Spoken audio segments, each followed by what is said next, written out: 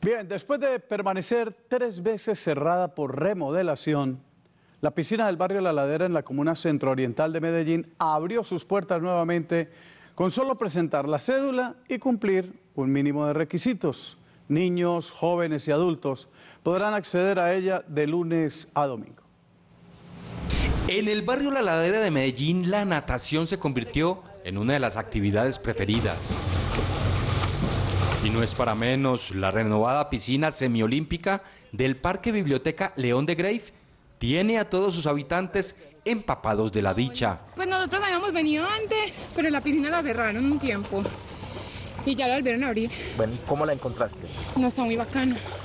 Jóvenes, adultos y niños disfrutan del novedoso escenario que sirve para el esparcimiento de toda la comunidad. Aquí pueden ir con mi prima y a, a meterme a la piscina.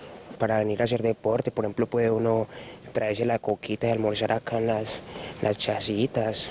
Pues muy completo. Con esta piscina ya son 12 escenarios administrados por el INDER de Medellín, que también pretende promover el deporte y sacar del ocio a miles de niños de diferentes comunas de la ciudad.